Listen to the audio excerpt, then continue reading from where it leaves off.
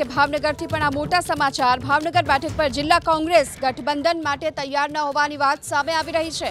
કોંગ્રેસ ક્ષત્રિય સમાજના ઉમેદવારને મેદાને ઉતારવાની તૈયારીમાં છે અને ભાવનગરમાં કોંગ્રેસની અનેક મુદ્દે રણનીતિ પણ બની છે. ભાજપની કોળી ચહેરાની ટિકિટ તો કોંગ્રેસની પાટીદારની ટિકિટની સંભાવના જોવામાં આવી રહી છે.